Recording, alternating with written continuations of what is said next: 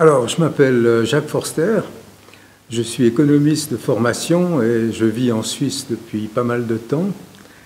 Et euh, au fond, j'ai travaillé euh, pendant pratiquement toute ma vie professionnelle, qui est terminée maintenant, je suis à la retraite depuis quelque temps, euh, dans le domaine des relations internationales et de la coopération nord-sud.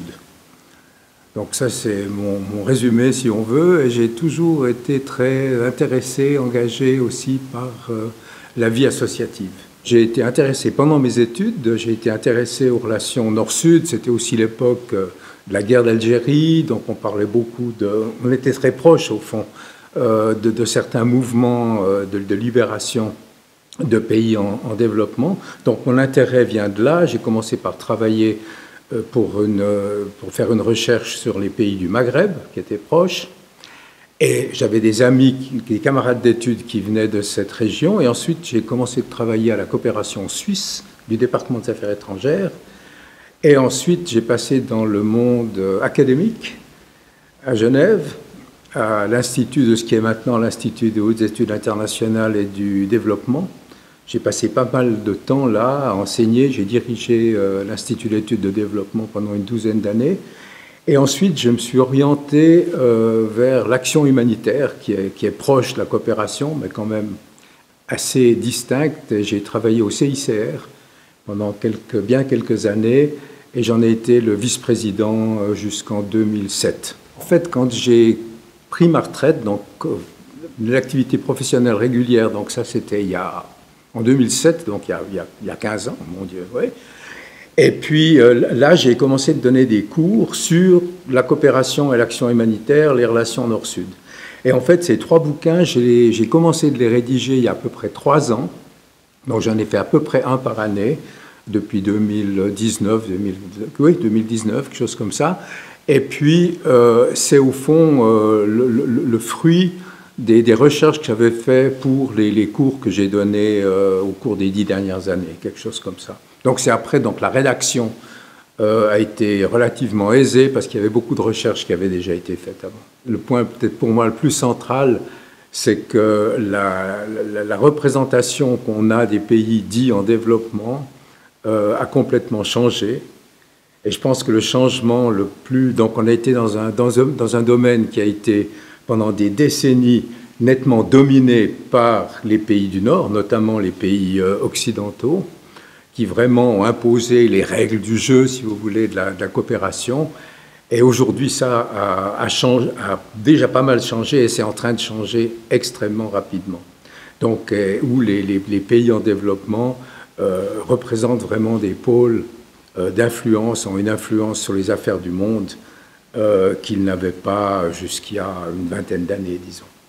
Donc ça, c'est vraiment le changement fondamental. Ceci dit, le grand effort, le grand projet de la coopération qui était que les pays du Sud rattrapent en termes de croissance économique les pays du Nord, c'était ça l'idée initiale. Ça, évidemment, c'est une idée qui a complètement échoué, qui est complètement euh, dépassée, je dirais, dans la mesure où aujourd'hui, et ça c'est une de mes thèses, je crois que la distinction qu'on fait entre pays en développement et pays dits développés, c'est une expression qui est très contestable, est complètement, a complètement perdu sa pertinence.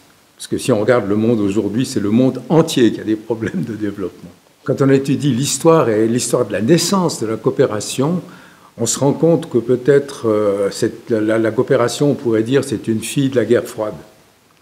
Euh, ça a été un moteur essentiel dans les, dans les relations euh, Est-Ouest, dans la, concurrence, la compétition qu'il y avait entre les pays du bloc communiste, socialiste, mené par l'URSS, et les pays euh, occidentaux, donc ça a été un élément majeur, et au moment aussi où survenait la décolonisation. Donc c'est vraiment la combinaison de ces deux éléments, la guerre froide et la décolonisation, qui explique euh, le, développement de la coopération au développement, que ça a pris son essor. Et en fait, euh, ça a été un instrument de politique extérieure des, deux blocs, d'abord les Occidentaux, ensuite aussi les, les, soviétiques, pour essayer d'exercer une influence sur les pays en développement euh, soit qu'ils restent dans leur camp, ou ils, viennent dans leur camp, ou soit, au pire, qu'ils restent non alignés. Hein. Et ça, ça a été vraiment la, grande, le grand moteur, je dirais, de la coopération jusqu'il y a 30 ans, jusqu'à la fin de la guerre froide. Et ensuite, le jeu a changé complètement, la nature du jeu a changé a changé complètement. Donc c'est un point très important. Et je dirais que euh, aujourd'hui, probablement, là, je crois qu'il y a ça aussi dans votre question, c'est que euh, on est en train, avec justement cette montée en puissance, cette montée en influence du tiers monde, de revisiter complètement le, problème de la, de la colonisation et de la décolonisation, et dire que c'est un processus au fond qui n'a pas été complètement achevé, aussi bien sur le plan psychologique que sur le plan politique. Hein. et je crois que la meilleure illustration de ça, c'est ce qui est en train de se passer en Afrique maintenant, dans les relations entre l'Afrique du Sahel et euh, la France, par exemple, hein, où il y a un mouvement de pendule euh, considérable euh, avec la France qui se fait virer d'un certain nombre de pays du, Maghreb. Au profit, si j'ose dire, des, groupes armés, euh, des, compagnies privées, euh, des armées privées euh, Wagner Russie. Alors, je ne sais pas s'ils ont gagné beaucoup au change, mais enfin, voilà, ça en tout cas, c'est clair que on est maintenant dans une phase où ce processus de décolonisation peut-être arrive à son, à son terme.